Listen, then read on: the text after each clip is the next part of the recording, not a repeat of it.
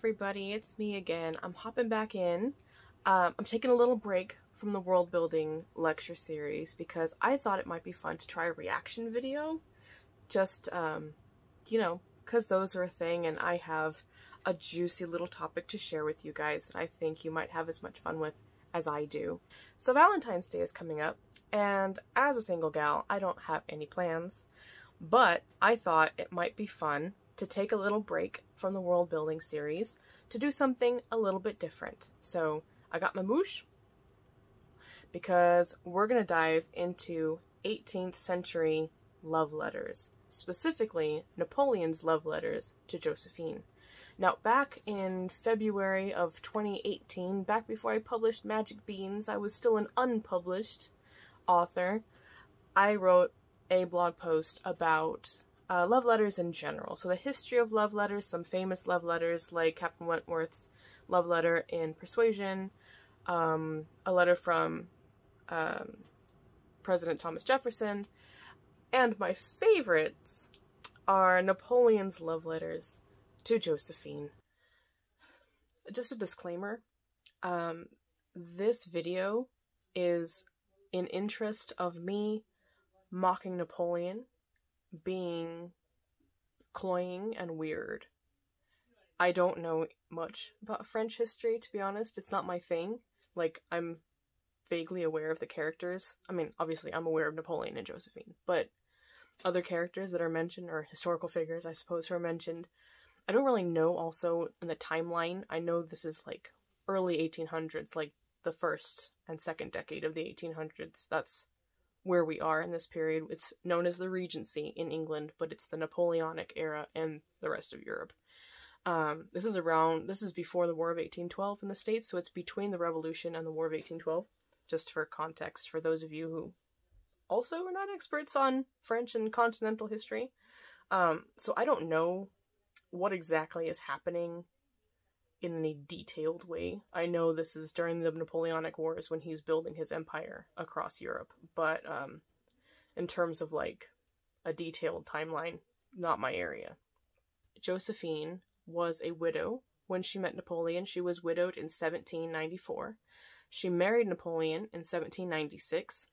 In 1804, Napoleon was elected emperor. He was elected emperor. That's interesting. So, so Josephine became empress in 1804, and they divorced in 1810. Um, it was a real solemn thing. It was the reason they divorced was because Napoleon felt that in the interest of his empire, in the interest of France, he had to produce an heir, and he wasn't getting one from Josephine. So that's why they divorced. He didn't really want to, and I I'm really not sure how she felt about the whole relationship. I know she wasn't happy about the divorce, but I don't really know how she felt about him. I don't know if, like, this was a marriage of awesome convenience for her, or if she just didn't express affection the same way that he did, but I know he wasn't happy with her interaction with him and the exuberance of his letters are not matched in hers. So I'm not really sure how she felt about the whole thing. I just know she was not happy about being demoted and divorced. Uh, but she she agreed that it was in the best interest of France um, for her to essentially step down as um, resident broodmare. in fact, this is really shitty. Uh, in March of the same year, uh, Napoleon married Mary Louise of sorry Marie Louise of Austria, and he did say that he was briefly infatuated with her, but more so it is a womb that I am marrying. So just a real charmer, Napoleon. He had a way with the ladies. So basically, even after that, Napoleon still insisted that Josephine uh, retain and use the title of Empress, uh, I think mostly because he wanted to stay in her good graces because he was still super obsessed with her. And, um, you know, he, he didn't want her to think that he was, that he set her aside because he'd stopped loving her. As if she could possibly have that impression. But that he was, uh, putting the interest of France above his own feelings, which is hilarious to me. I gotta be honest. So, Napoleon's and Josephine's, I don't want to say romance. We'll say marriage. Marriage, because that, it was certainly a marriage. It's, it's really weird. There is a really, I don't know, the jury's out on how close they actually were as a couple because it's clear that he was obsessed with her. But her side of it is a little more dicey. Some people are like, oh yeah, she was just as in love with him as he was with her. But some anecdotes about their like behind the scenes interactions and her letters to him are a bit more like so it's it's hard to tell where what was actually going on there. I know that obviously he made her empress and even after he divorced her, he still insisted that she refer to herself as empress and his last word was Josephine. So I think it's fair to say that it was it was real on his part. So that being said, it was also real embarrassing on his part because he was oh boy, he was he was like imagine like a 15-year-old with like his first like puppy love crush, right? It's all like, but a little bit more adult because he gets a little adult sometimes.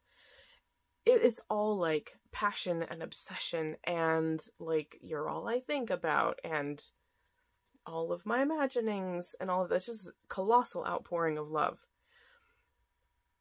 And it's really awkward and uncomfortable to read because it's just so clumsy and it's really funny to imagine all of this coming from Napoleon, right? Like, he, he just decimated Europe. And it's nice to know that he has this really embarrassing side.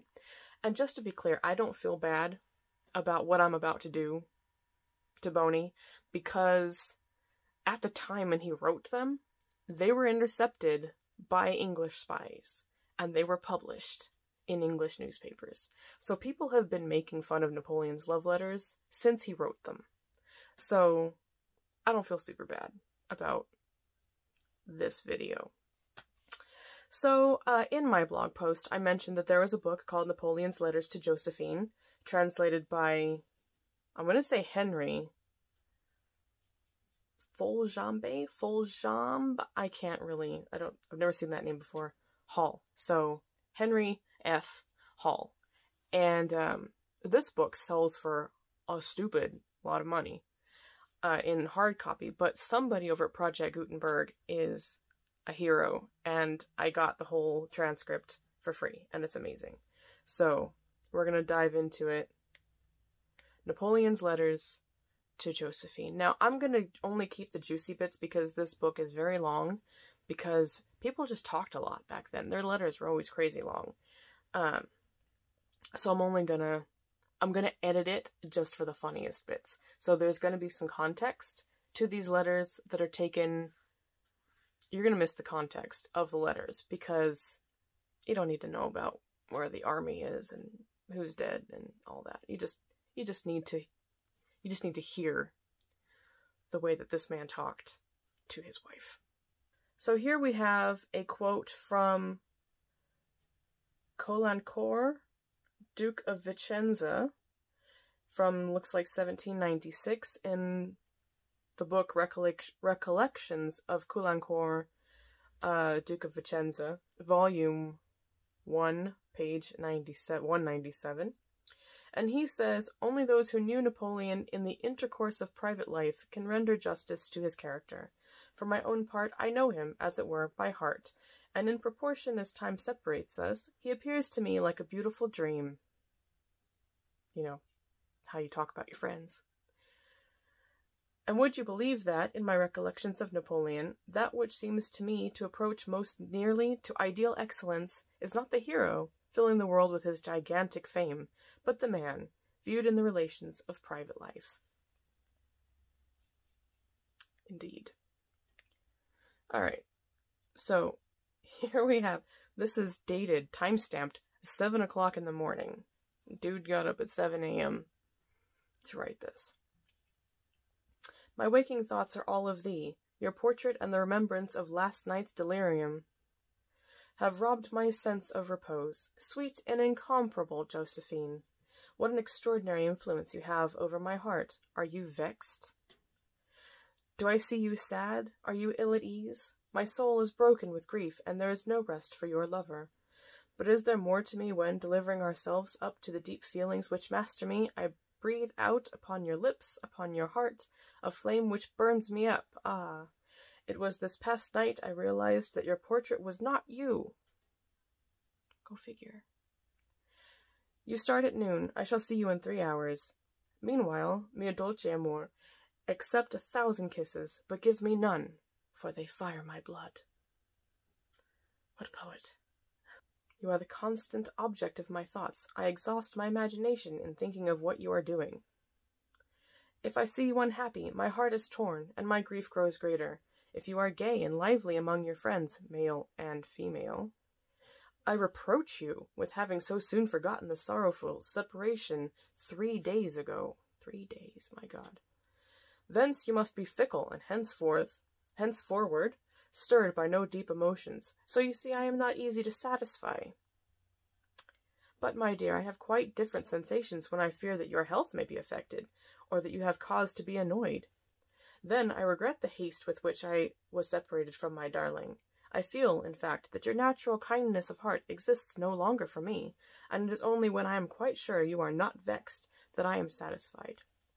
If I were asked how I sleep, I feel that before replying I should have to get a message to tell me that you had a good night. The ailments, the passions of men, influence me only when I imagine they may reach you, my dear.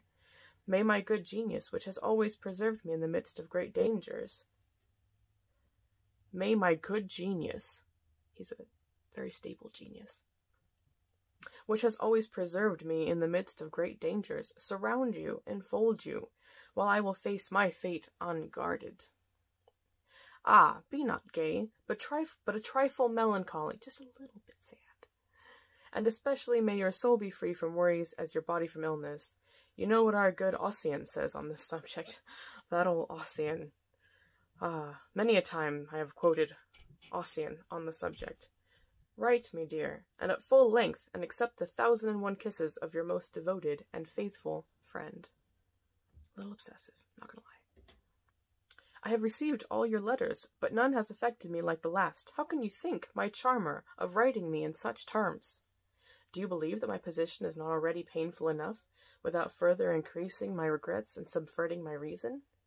What eloquence, what feelings you portray! They are a fire, they inflame my poor heart.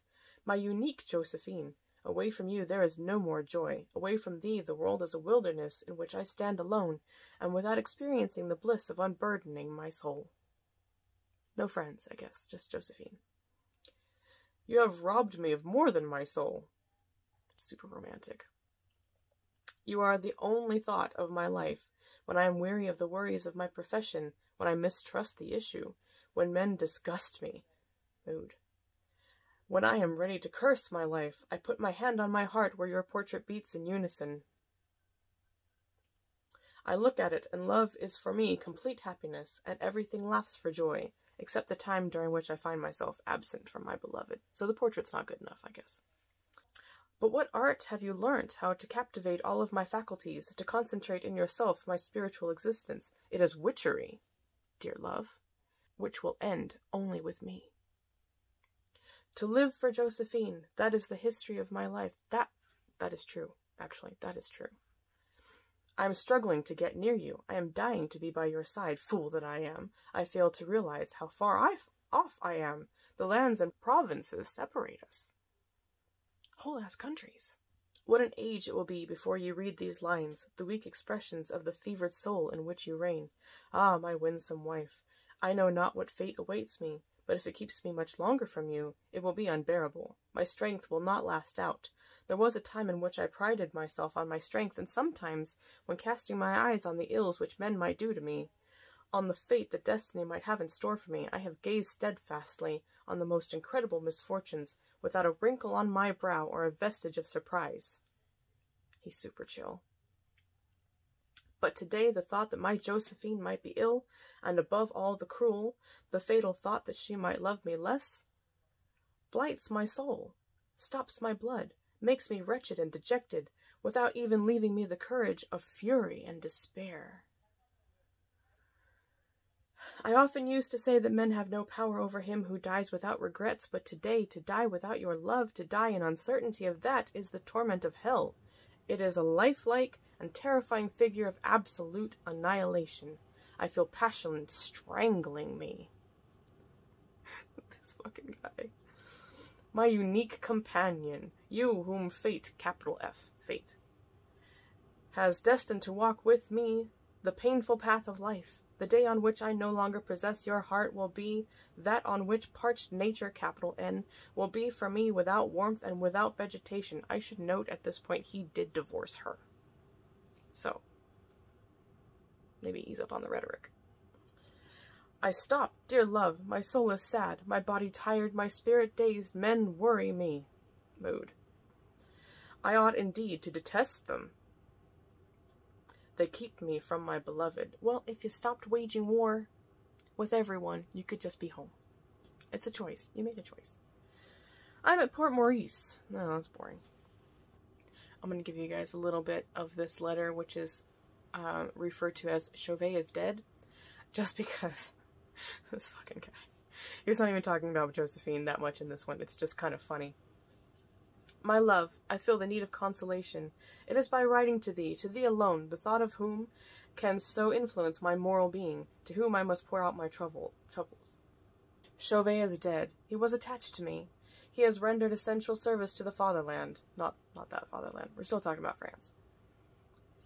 His last words were that he was starting to join me. Yes, I see his ghost. It hovers everywhere. It whistles in the air. His soul is in the clouds. He will be propitious to my destiny. But, fool that I am, I shed tears for our friendship, and who shall tell me that I have not already to bewail the irreparable? Soul of my life, write me by every courier. He means that, by the way. Every courier.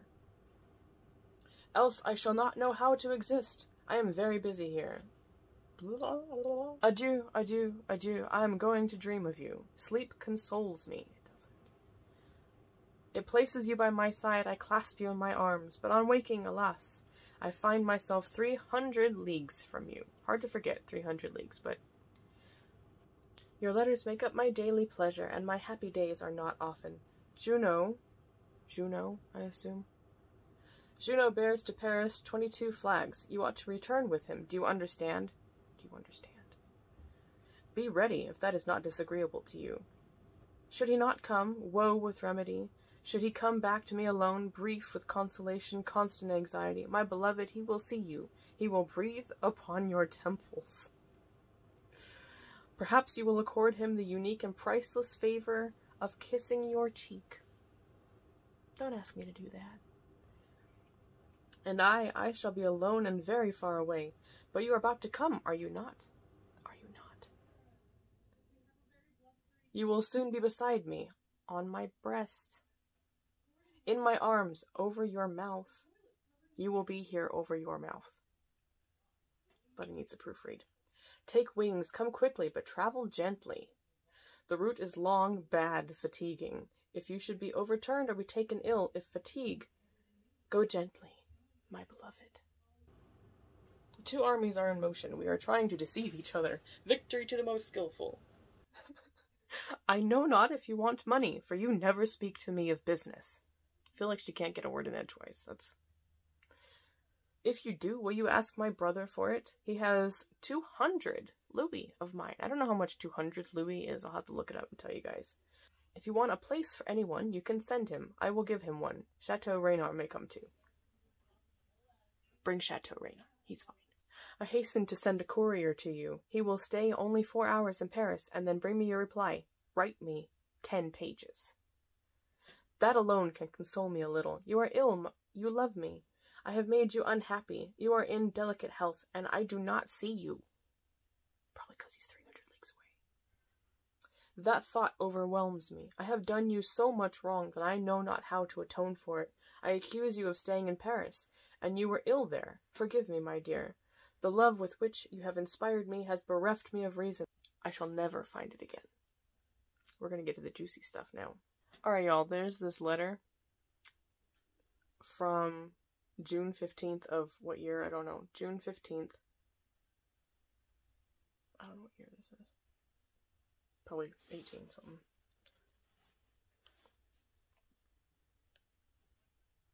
I don't know what year this is. There's a letter here. Apparently she's sick. Apparently she went to Paris and caught a cold or something. I actually don't know. I kind of feel a little bit bad. I don't know what's going on in Josephine's life, but apparently she doesn't talk much, so apparently he doesn't know much either.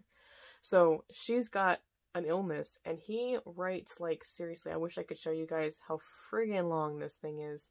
And it's basically like, I can't console myself thinking that I criticized you for being in Paris. And to know that you're sick is occupying all of my thoughts. And I really hope Hortense is there because I like her better knowing that she's helping you. Like, I like her already. There's a letter about how much he likes Hortense. I don't know who Hortense is. He does refer to her as a sweet child, so maybe she's a relative. I don't know. But, um, apparently he feels better knowing Hortense is there, but still, this is, this is a crazy long letter. And he just spends the whole time basically rewording, gee, I feel bad that you're sick. For a month, I have only received from my dear love two letters of three lines each. You know, I get that criticism from my family a lot that I send a lot of one word texts. I think Josephine and I would get along. Is she so busy that writing to her dear love is not then needful for her, nor consequently thinking about him? Are you thinking about me at all? To live without thinking of Josephine would be death and annihilation to your husband. Your image gilds my fancies and enlivens the black and sombre picture of melancholy and grief.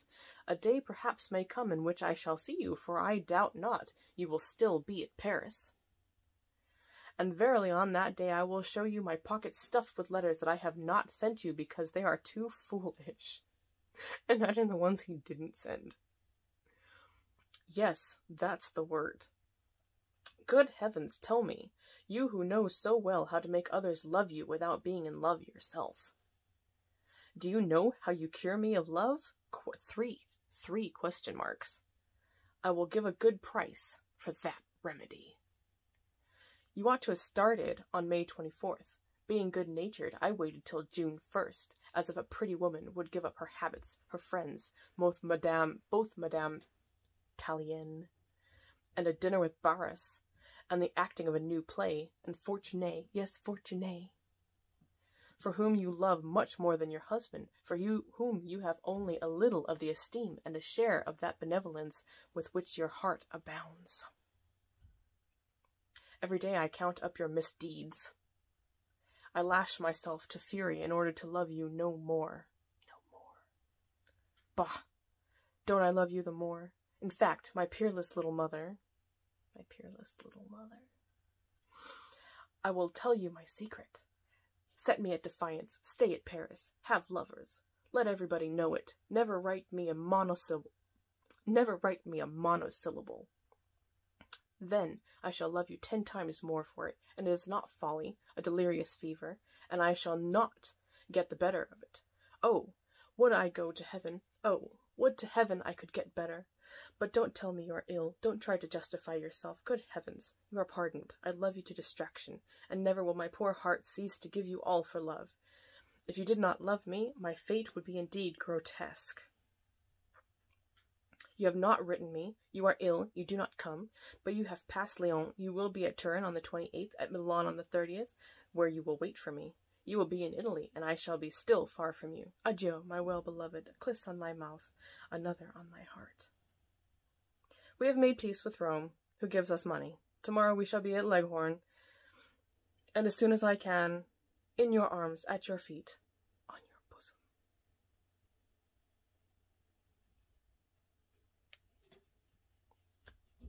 That one's my favorite so far. All right. We are not we are we are barely started, y'all. We are like I'm just gonna start picking them at random because if I like go down the list, we're gonna be here all day. I'm gonna lose the light. And I'm not doing all of this again tomorrow.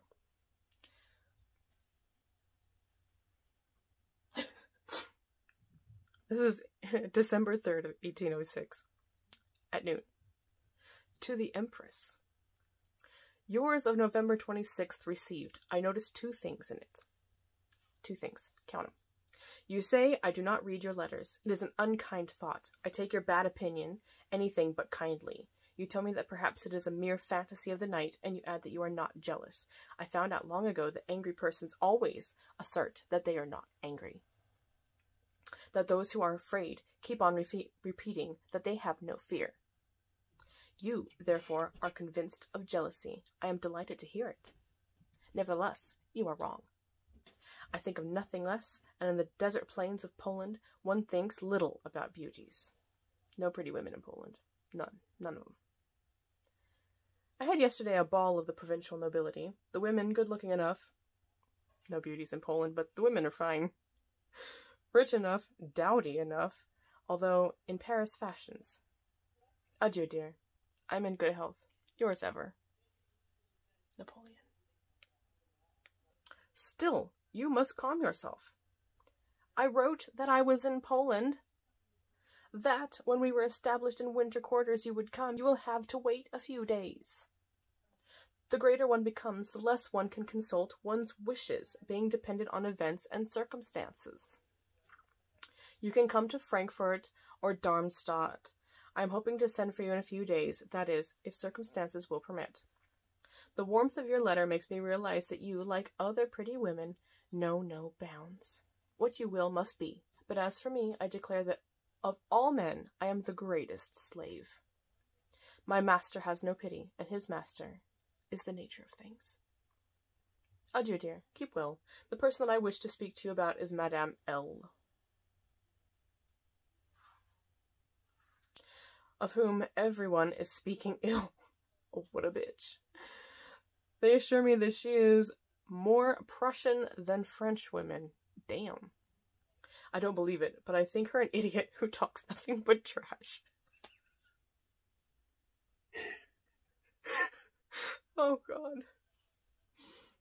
I love this book, y'all. I love this book. The Queen of Prussia is really charming. She is full of coquetry for me. But do not be jealous. I am an oilcloth, over which all that can only glide. It would cost me too much to play the lover. I love that this is a letter you write to your wife. He wrote this to his wife. Like, the Queen of Prussia, she's like super into me, but I was like, nah. Eh. uh, the 1800s, man, it was wild. People got away with so much. Also, that was the extent of the letter. That was like the whole letter. I love that, like, they sent letters, like, handwritten and like stamped with wax and sent by courier the same way we send texts. Like I just want to like have her send him a letter, like sit down to pen a letter at her desk and be like, "You want pizza?" and for him to like take 2 weeks to write back. Eh. ah. Okay, so here's another one. This is uh, dated November 5th, uh, 1808. I am at Tolosa. I am starting for Vittoria, where I shall be in a few hours. I am fairly well, and I hope everything will soon be completed. Period. Send it. I mean, a lot of times they wrote these crazy long letters, but a lot of times, like, just checking in. Just, I'm at the hotel, just calling you before I go to bed.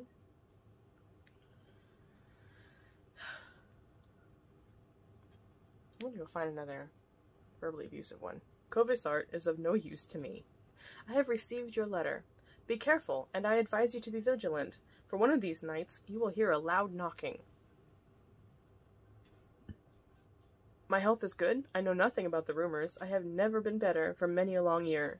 One of these nights you will hear a loud knocking. I want to know what that's about. Like, judging from, because some of his letters he writes to her and he's like, I'm gonna be there, and you're gonna be surprised.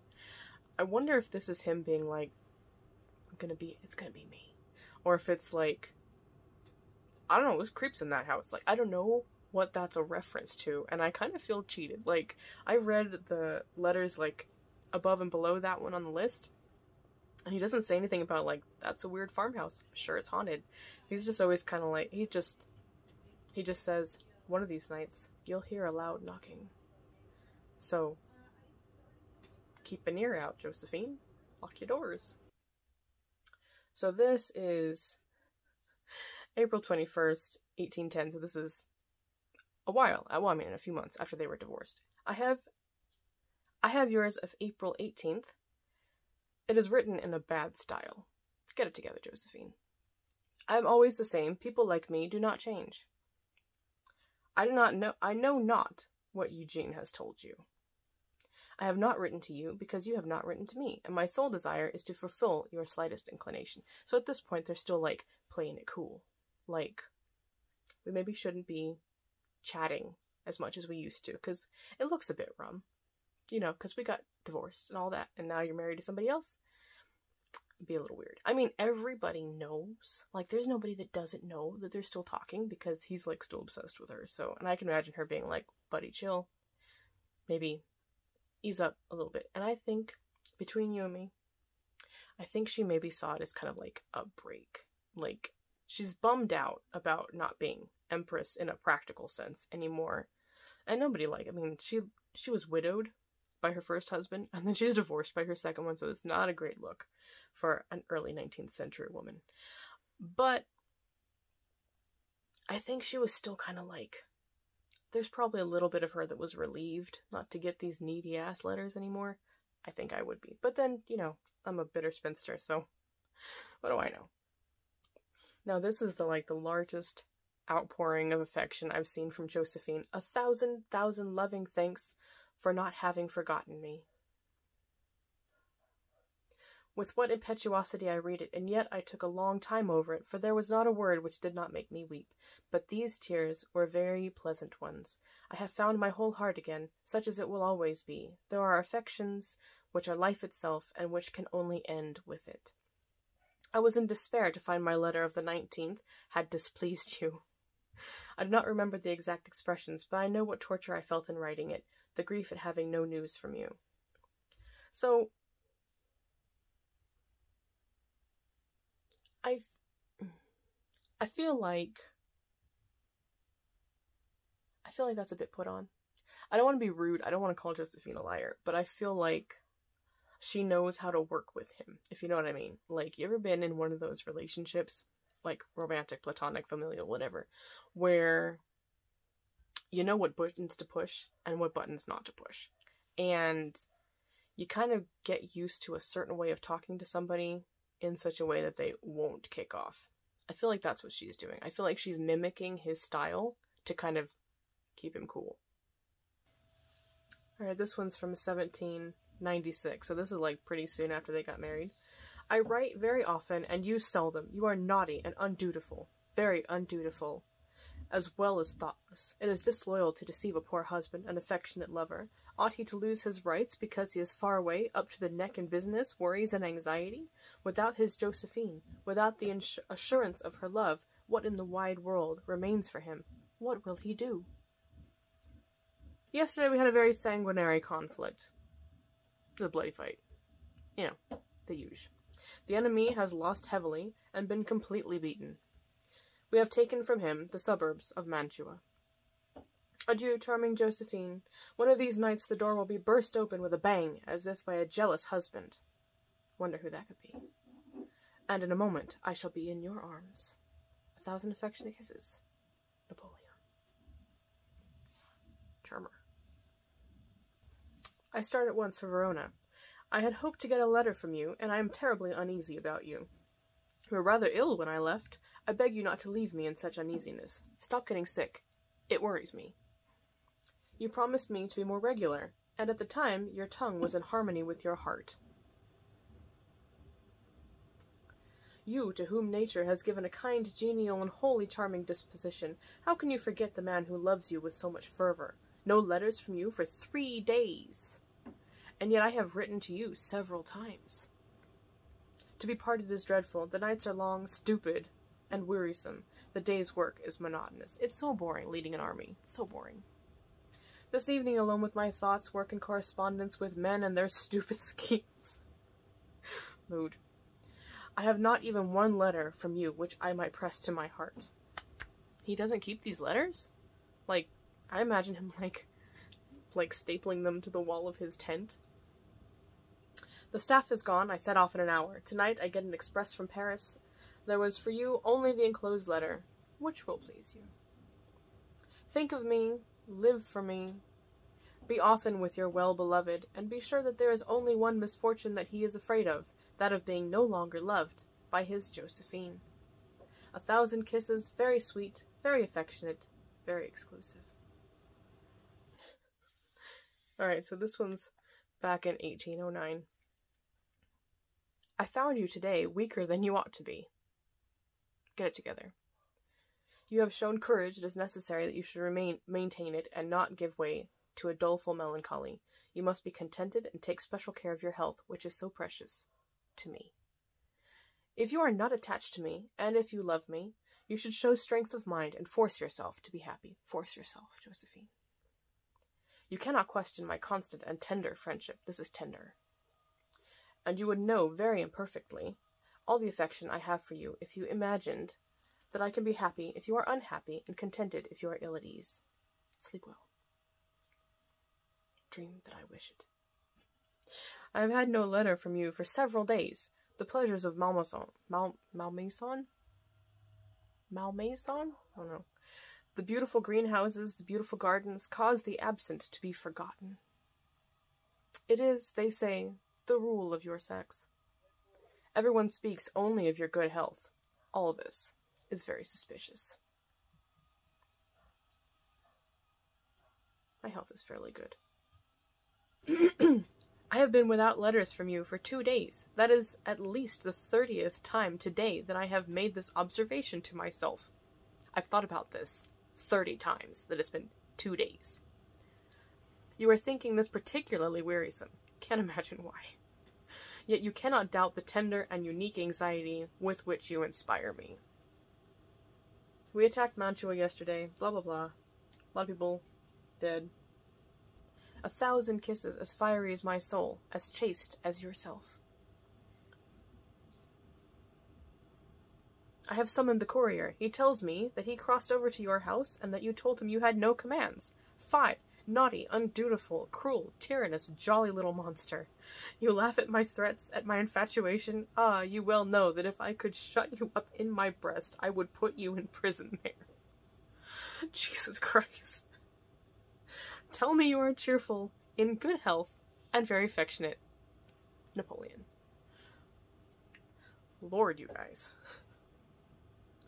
I'm very anxious to know how you are, what you are doing. I have been in the village of Virgil, on the banks of the lake, by the silvery light of the moon, and not a moment without dreaming of Josephine. The enemy made a general sortie on June 16th. It has killed or wounded 200 of our men, but lost 500 of its own in a precipitous retreat. I am well. I am Josephine's entirely. I have no pleasure or happiness except in her society.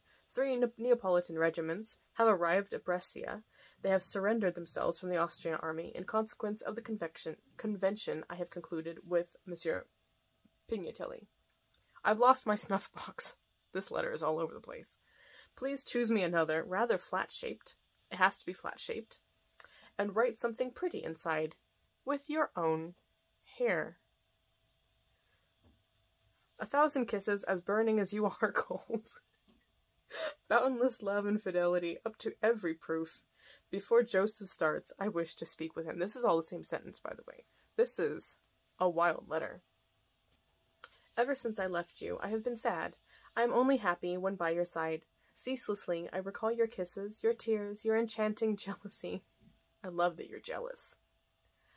And the charms of the incomparable Josephine keep constantly alight, a bright and burning flame, in my heart and senses. When free from every worry, from all business, shall I spend all my moments by your side, to have nothing to do but to love you and to prove it to you? I shall send your horse, but I am hoping that you will soon be able to rejoin me. I thought I loved you some days ago, but since I saw you, I feel that I love you even a thousand times more. Ever since I have known you, I worship you more every day, which proves how false is the maxim of La Bruyere that love comes all at once. Everything in nature has a regular course and different degrees of growth. Ah, pray, let me see some of your faults. Let me see some of your faults. Be less beautiful, less gracious, less tender, and especially less kind. Above all, never be jealous, never weep. Your tears madden me, fire my blood. Be sure that it is no longer possible for me to have a thought except for you, or an idea of which you shall not be the judge. Have a good rest. Haste to get well. Come and join me, so that at least before dying we could say we were happy for so many days. Millions of kisses. Millions of kisses. Even to Fortuné, in spite of his naughtiness. Bonaparte.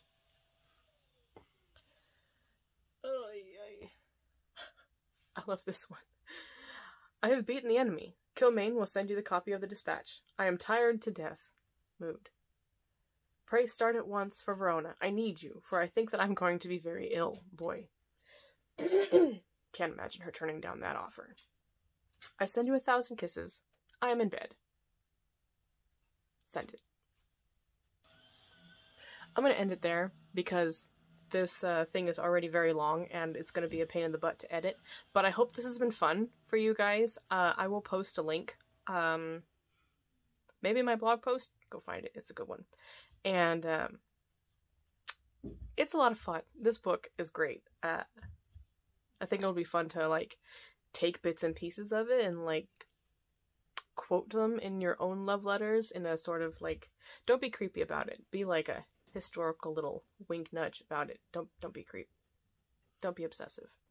Napoleon was obsessive. Don't be like Napoleon. Also, don't take over most of Europe. Don't do that. They don't like it. Um, but anyway, yeah, I hope this has been fun. It's been a hell of a lot of fun for me. Cringe, but fun and so funny. And um, I'll see you guys next week to continue the world building class. We'll be talking. We'll be starting the section on culture.